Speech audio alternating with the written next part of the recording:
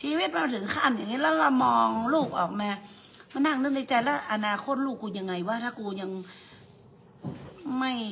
คิดจะเปลี่ยนอะไรเงี้ยไม่ใช่ก็อยากก็ก็พอดีมีเพื่อนคนหนึ่งเขาได้ผัวฝรั่ง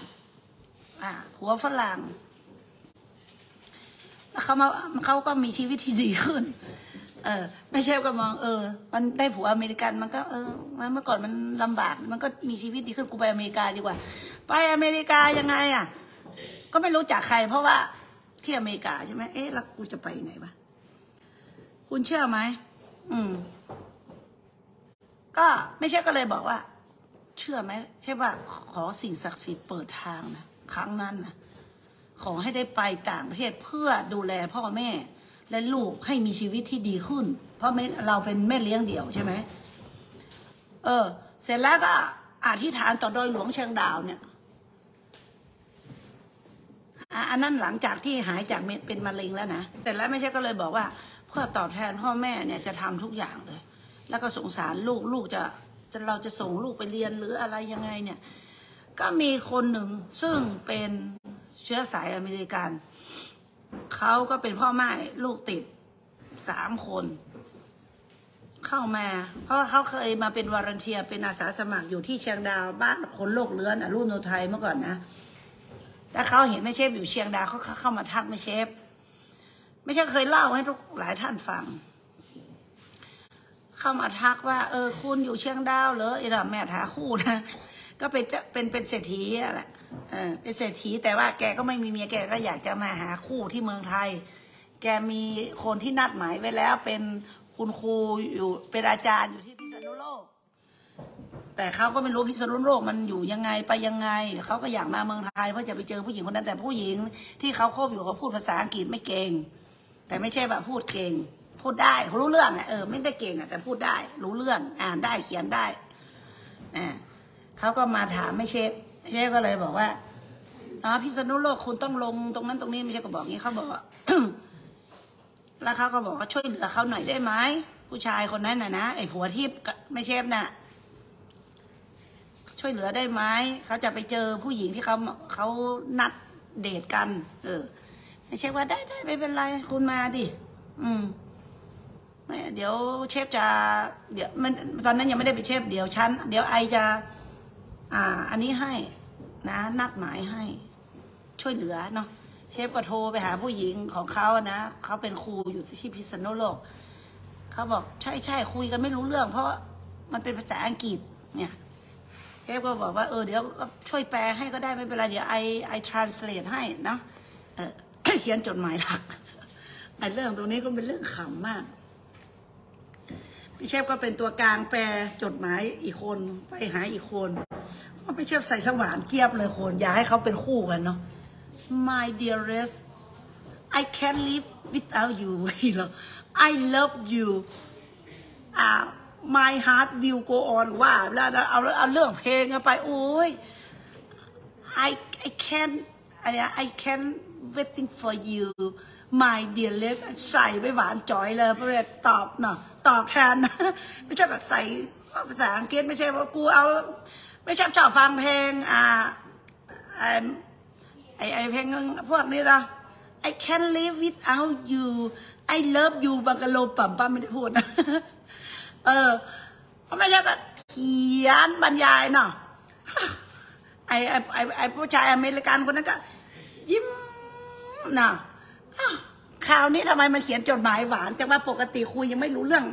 อันนี้มันเขียนแบบยิ้ม ยิ้มไม่หูกจริงๆคนเขียนคือแม่เชฟ แล้วก็ไอ้ครูนั่นก็ บอกเป็นภาษาไทยอีเมลมาไม่ใช่กับพิมพ์พิมพ์พิมพ์พิมพ์พิมพ์ my love เราไม่ใช่นะโอ้กูตายละหวานจนขนลุกอะคนเอ้ยหวานจนไม่ใช่ละขนลุกหวานจังเลยไอ้เขียนไปขนลุกไป ไอ้คนเขียนก็อีกคนหนึ่งไอ้คนแปลอยู่สองข้างไม่ใช่คนแปลตรงกลางนะ เออ ภาษาอังกฤษไม่มีปัญหาเขียน เอาเพลงใส่ไปเลยคุณ โอ้โห my heart will go on นะ I I I I miss you so much อีหลอ you are I can't waiting for you I want to see you right now อย่าว่าเลยพ่อแม่พี่น้องเลยไอ้ไม่ใช่ว่าใส่เข้าไปเนาะใส่หวาน เลยเนาะสองคนนี่มันก็ยิ้มตั้งข้างอีกอะพอมาวันหนึ่งเล่าย่อๆเนาะพอมาวันหนึ่งไม่ใช่ก็ไปเจอครูคนนั้น อาจารย์คนนั้นกับว่าเธอพ่อแม่พี่น้องก็แต่งตัวเป็นอาจารย์แต่ว่าผมทรงยกสูงเห็นนะ แล้วก็ผ้าลูกไม้ ใส่ผ้าลูกไม้ปือตุ่นตุนตุนใส่ผ้าถุงเหรอหิ้วตะกร้าไหวเนาะคุณครูเหรอป้าเป็นคุณครูอะ เออ แล้วก็ใส่แว่น แล้วก็เอาที่ห้อยแว่นใส่อิ่มก็ดูเท่าไม่ไม่น้องเฮ้ยที่ที่ที่ที่แว่นนี่นะคุณครูนะ อายุก็ยังน้อยกว่าไม่เชฟแล้วก็ใส่ผ้าลูกไม้ระบายข้างอีเหียเนาะ มันคนละมันใจละแล้วแม่เชฟไปดูไอ้อเมริกันคนนั้นมันแต่งตัวมันใส่รองเท้า ขับรถดีขี่ Harley-Davidson กับคุณครูซึ่งไม่เคยเห็นหน้ากันใช่ไหมแค่คิดในใจ มันคงไปกันไม่ได้ เพราะว่าแม่เชฟรู้ เพราะแม่เชฟอยู่แบบง่ายๆ แม่เชฟทันสมัยอะเออแม่เชฟเปรี้ยวอะตั้งแต่เด็กแล้วแม่เชฟแต่งตัวอย่างนี้เลย จริง ไม่ใช่ที่สุดบอกเลยตั้งแต่เด็กแล้ว แล้วก็บอก คุณครูแออัน ไม่ใช่นี่แต่งตัวตั้งแต่เด็กแล้วแต่งตัวเป็นสาวนี่โอ้โหแบรนด์เนมคุณแล้วก็เรารู้ว่าจะแต่งยังไงนะ อันพูดถึงตอนนั้นนะได้ว่า อันนี้ฝรั่งชอบเนี่ยนะเพราะมันแต่งตัวมันเหมือนมันไทยไปอะคุณอืม มันแต่งตัวมันมันไม่ใช่อะ มันไม่ใช่มันก็คือไม่ใช่ มันมันต้องอีกอย่างนั้นแล้วก็บอกอาจารย์อาจารย์อ่าครับว่าคุณครูคุณครูอันถ้าวันไปเจอกันนี่นะนัดเจอกันนี่นะ ชุดผ้าลูกไม้ระบายข้างระบายคอนี่นะเอาไว้ก่อนนะ แล้วก็ อ่า ไอ้แว่นเนี่ย อ่าคุณครูต้องซื้อเลแบนมาใส่นะ สมัยนั้นเนาะซื้อเลแบนมาใส่ แว่นใส่ตาก็เลือกเลือกเข้ากับใบหน้า ผมที่เรายกกระบังสูงๆ ดัดฝอยอย่างนี้นะ ไม่เอา ขอทรงที่ทันสมัยเฉียวๆเนาะอ่าไม่ใช่กว่าอีเนาะอ่าทรงที่ดูคลาสสิกใส่เสื้อเชิ้ตแล้วกางเกงยีนพอ less is more เนอะอาจารย์พ่อปูนี่นะดูแล้ว อันปูอเมริกาเศรษฐีอเมริกานี่มันแต่งตัวแบบคือคนนึกถึงแบบแต่งตัวแบบ less is more ไหมเกงยีนเสื้อเสื้อยืดเสื้อเชิ้ตแค่นั้น ภาพแขนใส่รองเท้าหนังคู่ละหลายหมื่นนี้ นาฬิกาล้านกว่าอย่างนี้เราก็ดูรสนิยมอีตานี่มันมันรสนิยมดีเนี่ยวันนัดหมาย อเมริกันคนนั้นก็มาเจอ ไม่ใช่บอกถ้าจะเจอเชฟเนี่ยนะ ก็ต้องเจอสนามบินเชียงใหม่เดี๋ยวก็นั่งจากแล้วก็ค่อยเหมารถหรือว่า จ้างคนรถไปพิษณุโลกก็ได้นะ แต่ถ้าลงกรุงเทพคุณก็ต้องไปพิษณุโลกเองก็หาทาง ไปโทรศัพท์หาหาหาที่เชอร์คนนี้เนอะอินนะอันนั้นก็ตัดสินใจว่าว่า แล้วก็คุยกับไม่ใช่ทุกวันเลย เอาไปเอามามึงมึงคุยกับกู หรือว่ามึงจะคุยกับแฟนมึงมันก็โทรไม่ใช่ว่าเออเออเดี๋ยวคุยคุยทางโน้นหน่อยก็แล้วกันเนอะโทรมาหาไม่ใช่เดี๋ยวไม่ใช่จะเอาจดหมายที่มันเขียนมาตลกตลก ตานี่ยังไงวะมึงก็กูเป็นแม่สื่อโทรอยู่นั่นน่ะเนาะไม่ใช่ว่าลูกสามแล้วนะตอนนั้นอะ อะไม่เป็นไร อะ อันนี้ก็ วันนัดหมายเล่าถึงวันนัดหมายไม่ใช่ว่าอุตส่าห์บอกแล้ว ว่าจะไปใส่ผ้าสิ้นแล้วกับเสื้อระบายแล้วผมโยกสูง ให้ใส่แว่นตาที่ทันสมัย แว่นกันแดดแล้วใส่เสื้อเชิ้ตสีขาวก็ได้สักอันหนึ่งแล้วก็ไม่ต้องใส่เครื่องประดับ ใส่ตุ้มหูอันเล็ก ๆ ก็พอ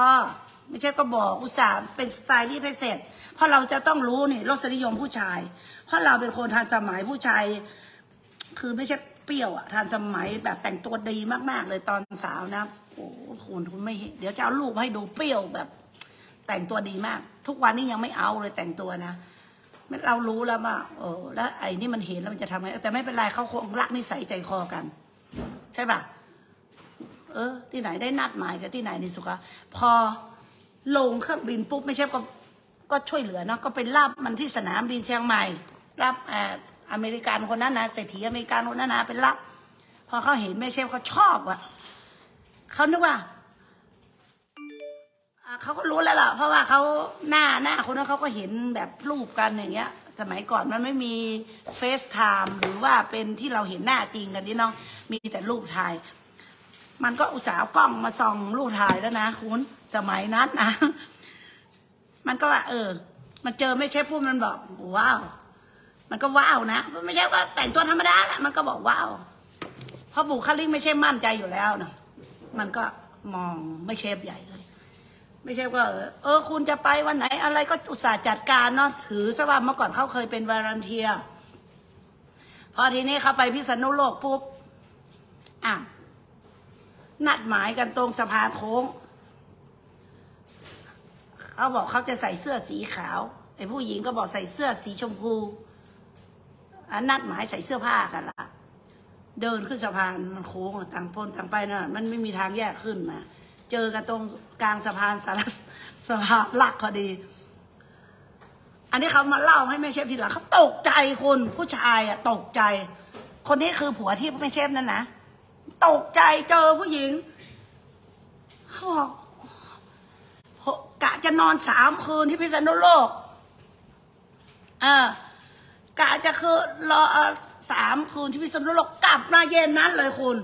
กลับมาพรุ่งนี้เช้าเลย ไปถึงแล้วไม่นอนละกลับเลย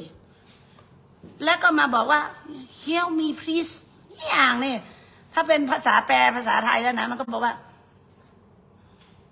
รับไม่ได้ she not my taste อะไรสักอย่างเนี่ย ไม่ใช่ก็ไม่รู้นะว่า ไม่ใช่อยากได้เหมือนคุณอยากได้เหมือนไม่ใช่ไม่อยากได้อีนั่นไม่อยากได้อาจารย์ เขาไม่เอาเขาบอกว่าอืมไอ้ไลอยู่อยู่สมาร์ท มันว่าอย่างนี้นะ บอกโอ้ไลฟ์อ่าลูกสามถ้าบอกลูกสามไม่เป็นไรเขาก็ลูกสามเหมือนกันเขาบอกนะเขาเป็นลูกสาวสามคน ไม่ใช่ว่าลูกชายสามคน มันบอกเขาไม่ไม่สน อืม อ่าเขาบอกว่าคุยกันก็แค่คุยไม่กี่คำผมก็รู้แล้วว่า ไม่ใช่คนที่เขาต้องการเออไม่ใช่ก็อุตส่าห์สอน อาจารย์นะเป็นอย่างลีลา มันต้องอย่างอันอย่างนี้คุณจะตั้งแบบ ทำยังไงอะ ผู้ชายมันจะ โอ้ยมันต้องให้สอนไหมเนี่ยใช่ไหมอืม มันต้องให้สอนไหมเนี่ย ใช่ไหมไม่ใช่ก็ไม่ได้รู้ว่ามันเป็นเศรษฐีไม่เป็นน้องไม่ใช่คิดรู้ ไม่ใช่ไม่ได้รู้มันเป็นเศรษฐี ไม่ใช่ก็คิดว่า เขาขาคู่กัน ไม่ใช่ไม่ได้รู้เลย เพราะเขาไม่ได้เล่าเรื่องอะไรทั้งนั้นแล้วเสร็จแล้วเขาก็อยู่เชียงใหม่นะก็มาหาแม่เชฟทุกวัน ยังมาอุ้มลูกแม่เชฟอีกนะ แล้วเขาบอกว่า ถ้าเป็นคุณล่ะ มันก็เห็นแม่เชฟเลี้ยงลูกสามคนขายก๋วยเตี๋ยวมันก็เห็นอยู่เนาะแม่เชฟก็ขายก๋วยเตี๋ยวไม่ใช่ไปสนใจเออแล้วเป็นไงอะ แล้วยังไงต่อนะไม่ใช่วันแล้วยังไงต่อเขาก็บอกว่า ถ้าเป็นคุณน่ะ คุณไม่มีสามีไม่ใช่เหรอผมอยากดูแลคุณมันก็ว่าอย่างนี้เนาะไม่ใช่ว่าเออบอกตรงๆนะไม่อยากทำเวรทำกรรมหนีมาจาก ไม่ใช่ก็เล่าเลยหนีมาจากพ่อของเด็กอะ ไอตัวเล็กเนี่ย พ่อมันก็เป็นหมอหนีมาจากอียิปต์ยังมาดูมาดูแม่ ไม่เอาหรอกหนี้สินก็เยอะตอนนั้นนะหนี้สินก็หลายล้านอยู่ ก็บ้าบ้านไปจำนองจำนำก็ยังไม่โหลดธนาคารใช่ป่ะพอมาถึง มันก็บอกว่า แต่ I like you so much I like your style I like your ทุกอย่าง ฉันชอบ ชอบแบบนี้ ไม่ใช่ก็ทีเล่นทีจริงไม่ใช่ป่ะ ได้สิสิบล้านไง นึกในใจกูลูกสามไม่ได้สวยอะไร นะ คนลูกสามมันจะสวยยังไง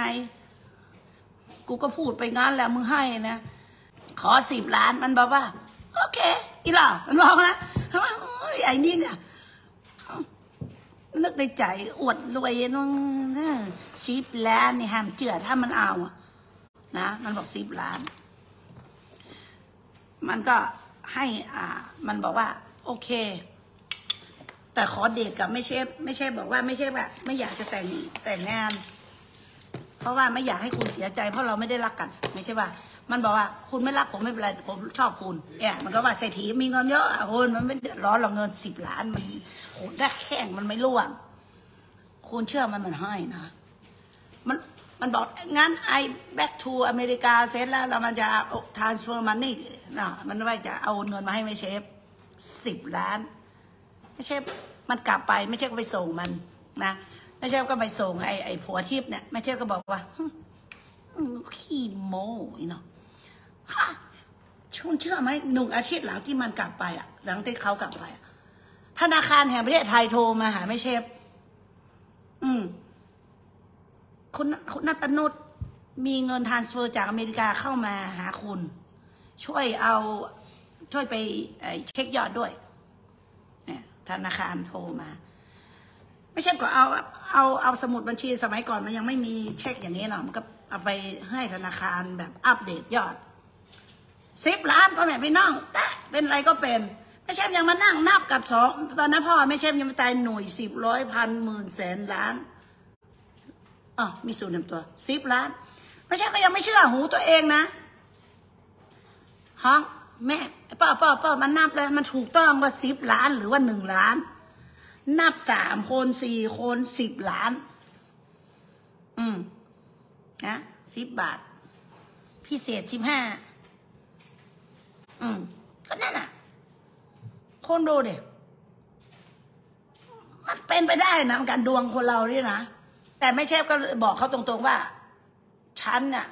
มีปัญหาในเรื่องคู่ครอง ฉันไม่อยากทำให้คุณเสียใจในอนาคต ขอให้คุณช่วยเหลือฉันได้ไหม ถ้าวันหนึ่งฉันมีลืมตาอ้าปากได้ ฉันจะคืนเงินให้คุณ ที่คุณให้ฉันมา เขาบอกว่าไม่เอาไม่เอาผมให้คุณเนาะจากนั้นขอไม่ใช่ก็อยากไปอเมริกา เพราะว่ามันรอเขาให้เงินเขาคงไม่ให้แล้ว เราก็ไม่ได้เป็นเมียเขานี่เนาะก็เป็นข้อตกลงที่ว่าไปเขาจะช่วยจดทะเบียนให้เพื่อได้ใบ ก็เป็นข้อตกลงที่ว่าเขาก็มีทรัพย์สินเก่าของเขา ซึ่งมีบริษัท สองสามบริษัทนะเป็นเศรษฐีเขาก็เป็นสินนอกสมรสทั้งหมด เขาบอกอ่าเมื่อไม่เอาผมก็ไม่เป็นไร แต่ข้อตกลงระหว่างสองคนก็คือเขาจะช่วย ไม่ใช่ขอให้เขาช่วย ว่าให้ไปอเมริกาเขาก็ทำเรื่องไม่ใช่ก็ไปอยู่อเมริกาพอไปอยู่อเมริกาป้าแม่พี่น้องเฮ้ยครับว่าที่เขามาเอามันนี่นะมันน่าไม่ใช่ไปขวางไว้อันแคลิฟอร์เนียฮะเนี่ยแคลิฟอร์เนีย เมืองมอนโลเวียฮะเนี่ยเออ แล้วก็ให้ไม่ใช่หางานทำเองอะ คุณดูนะ มันก็บอกว่าฝรั่งอะ มันก็บอกเมื่อเมื่อเป็นอย่างนี้ก็คือ ต่างคนต่างทำมาหากินกูก็ช่วยมึงแล้วมึงจะเอาอะไรกับกูอีก หางานทำทำร้านอาหารกับคุณทีนี้ก็เลยโดนปล่อยอะ โดนปล่อยทิ้งอะ อ่าใช่ไหม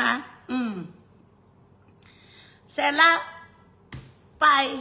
อ่าอเมริกา ไปเช่าบ้าน บ้านเขาอยู่นิวออร์ลีนส์เขาเอาแม่เชฟไปปล่อยที่แคลิฟอร์เนีย ไม่ใช่ก็ไปทำงานร้านอาหารรับจ้างซับมะละกอนบุบลับโอ้ยพ่อแม่พี่น้องพัดท่าเฮ้ยห่อเอกโลนี่นะเอกโลรู้จักไอ้สปริงโลเอออะไรนะบ้านเราปอเปียห่อจะมือแจ๊ะอะไรแม่พี่น้องเฮ้ยเออทำโมสังโคห่อขนมอันจีบกับอันดิ่มซำเนี่ยนะจนประฝันนะ กว่าจะผ่านอย่างนี้นะโอ้เป็นรับจ้างทุกอย่าง คือสับมะละกอสับจนฝันน่ะถ้าร้านไทยก็สับมะละกอถ้าไปทำงานในโรงแรมอ่าคุณล้างเขียงเนี่ยล้างจนล้างจนฝันเลยอะหั่น bell pepper ด้วยนะหั่นหั่นหั่นหัวหอมนี่นะหั่นจนฝันเลยอะมันหั่นโรงแรมมันมีบุฟเฟ่ต์เนาะแล้วก็เราเป็นผู้ช่วยอะ prep เขาเรียก prepหั่น ตอนนี้หั่นหลับตาหั่นก็ได้แค่หลับอีนะเข้าใจไหมทำเป็นหมดเข้าใจมันเจองานหนักแล้วฝรั่งมันทำงานเป๊ะๆนี่นะพอมันไม่พอใจนะกระท่านมันเฟี้ยงไอ้ executive chef เฟี้ยงติดหัวแล้วเนี่ยไอ้เชฟฝรั่งเนี่ยนะทำงานนะโดนสารพัดอะอะไม่เป็นไรโดนก็โดนวันหนึ่งเหมือนฟ้ามีตา ด้วยความกระตือแม่เชฟก็ทำงานส่งเงินให้พ่อให้แม่ มีมีกินมีอยู่ใช่ไหมเสร็จแล้ว เหมือนฟ้าดินมีตา คนแก่ที่ไม่ใช่ไปเช่าบ้านอยู่เขาบอกว่า ฉันจะไปอยู่บ้านพักคนชราแล้วเธอซื้อบ้านใช่ไหมฉันจะขายให้เธอถูกเกมหรือว่าอย่างนี้เนาะอ่าไม่ใช่ก็เลยบอกว่าฉันไม่มีตังค์หรอก ฉันให้พรก็ว่าอย่างนี้เนาะมันนั้นนั่นก็ทำงานบ้างแหละทำงานฉันจะให้พรไม่ใช่ก็ทำงานไปผ่อนไปแล้วก็มันก็ใจดีมันแก่ละแปดสิบกว่า แล้วไม่ใช่ก็ดูแลเขาเนาะเวลาไปอยู่บ้านเขาเลย ปั้นหัวปั้นควายให้ลูกเขาเล่นนี่ตามคตินี่ต้องจำอย่าไปขี้เกียจไม่ใช่ถูบ้านเก็บทำหมดเลย มาว่าเขาจะจ้างคนมาคีนอาบ้านไม่ใช่ว่าไม่ต้องไม่ต้องเชฟทำเองถูบ้านเช็ดบ้านกวาดสะอาดดูแลเขาอย่างนี้อ่าคุณยายคะแกนมามานั่งนี่นะ เดี๋ยวข้าวนี่นะ อ่าทำข้าวต้มอะไรทิ้งไว้เหมือนเหมือนเราปฏิบัติเขาอะเขาก็ขายบ้านใช่ไหมเชฟตอนนั้นอยู่ที่สองแสนเหรียญสองแสนเหรียญสหรัฐอืมไม่เชฟก็เอาบ้านที่เนี้ย ที่ดินที่ไม่เชฟได้เงินสิบล้านมาเข้าธนาคาร เข้าธนาคารไปซื้อบ้านไอ้หลังเนี้ยบ้านเล็ก ๆ แต่มีต้นสนใหญ่บ้านก็สุดโทมพอสมควรนะ ก็อยู่ที่สองแสนเหรียญจากนั้นมาฟ้ามีแต่ทำงานไปทำงานมา มีคนอ่าเศรษฐีไต้หวัน อยากได้บ้านเพราะเพราะชอบต้นสนหน้าบ้าน ไม่ใช่ก็เรียกห้าแสนเหรียญหกแสนเหรียญเขาต่อเหลือห้าแสนเหรียญ ห้าแสนเหรียญสมัยนั้นก็สิบห้าล้านเอาซื้อมาสองแสนเหรียญสองแสนก็เอาก็สี่ล้าน ขายได้สิบห้าล้าน นี่คือเงินก้อนแรกที่ไม่เชฟรีโนเวทบ้านขายค่ะทุกท่านคะจากนั้นมันไม่ใช่รู้เลย เอ้ยกูมานั่งเป็นลูกจ้างสับผักนี่เออ กูไม่เอาเลยจ้า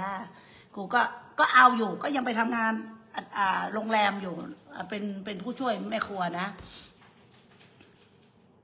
แต่วันเสาร์วันที่ไม่ใช่ไม่เคยหยุดนะ ไม่ใช่เป็นเรียนนอตเวสเนวาดาอะไรต่าง ๆ เรียนเชฟเรียนอะไรแล้วก็ครูพักรักจำโอ้เขาให้ทำอะไรทำหมดอยู่ไปอยู่มาซื้อบ้านทีละหลังรีโนเวทรีโนเวทจนมีเงิน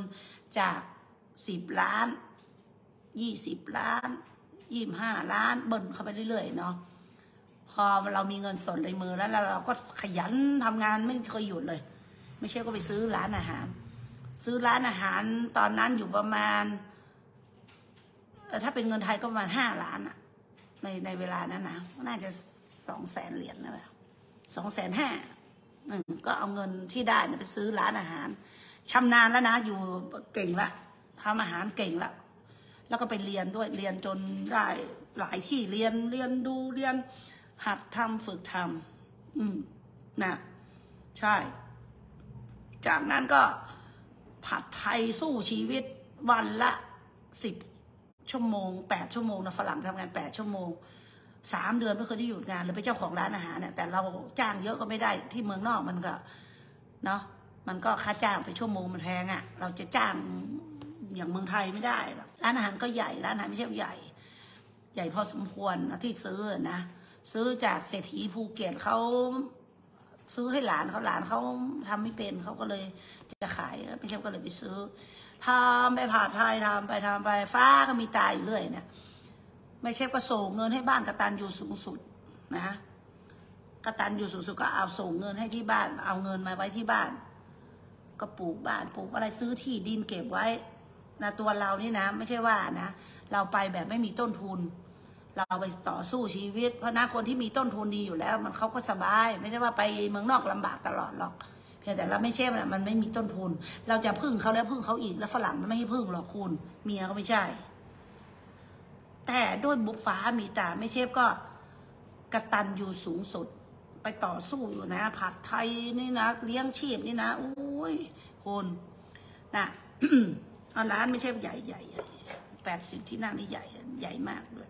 ไอ้แล้วก็สวยด้วยร้านร้านที่เวกัสใช่ไหมไอ้เนี่ย อันนี้หน้าร้านไม่เชฟเลยเนี่ยร้านไม่เชฟชื่อนี้เดี๋ยวนี้ปิดไปละ ปิดไปละตรงเนี้ย ขายขายล้วเออ ขายแล้วปิดไปละ อันนี้หน้าร้านเนาะเนี่ยหน้าร้านนี่ไม่เชฟไทยกริลลาสเวกัสเนี่ยไม่เชฟอ่าก็ เราก็เป็นเจ้าของร้านอาหารซื้อมีสองร้านนะที่แคลิฟอร์เนีย อันนี้ก็ไม่เชฟอยู่หน้าร้านตัวเอง อันนี้ไทยกริลก็จากนี่ยาวไปถึงนู่นก็กว้างนะเนี่ยนี่หน้าร้านที่ที่เวกัสอันนี้ไม่เชฟก็นั่นแหละ จากนั้นมาก็เล่าย่อๆเลยจะไปนอนละ ฟ้าก็มีตา ไอ้ผัวทิพย์เนี่ย เขาก็แก่แล้วเขาเป็นเจ้าของบริษัทสองบริษัทที่เป็นสินค้า supply เหมือนที่แม่เชฟขายทุกอย่างอยู่เนี่ยขายทั้งโอ้ทุกอย่างนะอะขายสารพัดอะเออเขาเรียกว่า supply อ่าพอดีเขาก็รวยแล้วเนาะแล้วก็เขาก็อายุหกสิบสองเขาแก่กว่าแม่เชฟสมัยนะแก่กว่าสิบสี่ปีสิบสี่สิบห้าปี แก่แต่ก็ดูภูมิฐานนะเขาก็บอกว่า อ่า แต่แต่มีครั้งหนึ่งเนี่ยแม่เชฟเคยช่วยเหลือเขาตอนนี้เขาเอาของขึ้นท่าแล้วก็โดน cancel จากไอ้อเมริกันเนี่ยเป็นมูลค่า แล้วเขาโดน hold บัญชี แม่เชฟก็เลยมีเงินเนาะแม่เชฟมีเงินประมาณ 20 ล้านก็แบ่งให้เขาใช้ 10 ล้านที่เขาเคยให้แม่เชฟแต่แม่เชฟว่าคุณไม่ต้องเป็นห่วงแล้ว มีเมื่อไหร่ค่อยคืน ไม่เป็นไร คุณก็เคยให้ฉันฉันให้คุณ ในในยามที่เขาเดือดเดือดโดนโดนโฮบัญชีเขาไม่มีเงิน เพราะว่ามันเจอแบ็กลิสที่ว่าเอาของอ่า เกี่ยวกับสินค้าขึ้นท่าเรือของเขาเนี่ยนะแล้วมันขึ้นไม่ได้ เพราะว่าโดนแคนเซิลที่ลูกค้าอเมริกาแคนเซิลแต่เขาเวลาเขาซื้อของจากอ่านำเข้ามาเขาต้องมัดจำไปสามสิบเปอร์เซ็นเนี่ยเขาก็เสียเงินเยอะ ทีนี้ก็มันต่อสู้คดีกันยังไงไม่รู้เขาโฮบัญชีบริษัท เชฟก็ให้เงินช่วยเหลือเข้าไป เชฟว่าคุณไม่ต้องคิดอะคิดซะว่าเราช่วยกัน จากนั้นมาเหมือนฟ้ามีอะไรอีมาอีสักอยู่มาเรื่อยๆนะเราย่อๆมาถึงวันหนึ่งวันนั้นเขาอายุ 62 ซึ่งเขาได้เงินโซเชียลแล้วที่อเมริกาเขาก็รวยแล้วด้วยบริษัทเขาก็บอกว่า ตอนที่ไม่ใช่อยู่นะไม่เขาก็สอนงานไม่ใช่หมดเลยนะ สอนงานทำเนี่ยซื้อของตรงไหน ประมูลตรงไหน ซื้อเพชรซื้อพลอยซื้อหนุนซื้อนี่ซื้อยังไงซื้อจากประเทศไหน แล้วเขาก็บอกรายชื่อของ ซัพพลายเออร์ทั้งหมดก็บอกเอาบริษัทเขาไหม เขาจะขายให้ถูก บริษัทตอนนั้นแม่เชฟมีเงินอยู่ประมาณ ถ้าเป็นเงินไทยก็ประมาณห้าสิบหกสิบล้านเองไม่ได้มีเยอะขนาดเป็นร้อยร้อยล้านพันล้านแม่เชฟก็ซื้อบริษัทสาไอสองบริษัทของเขา ถือหุ้นเจ็ดสิบเปอร์เซ็นต์แม่เชฟก็กลายเป็นประธานบริษัทเวนคอร์ปอเรชันแล้วก็อ่า เอาซ้ำหลายอเมริกัน แต่บริษัทขายไปหมดแล้วนะอ่าอเมริกันซึ่งนำเข้าซื้อขายสินค้าที่อเมริกาทั้งหมด ไม่ใช่ก็จากผู้ช่วยล้างผักจนจนๆก้าวขึ้นมาเป็นประธานบริษัทสองบริษัท ก็ถือว่าบริษัทขนาดกาขนาดเล็กนะนะแต่ว่ามันก็มูลค่าหลายร้อยล้านเป็นหลายร้อยล้าน เช่นกัน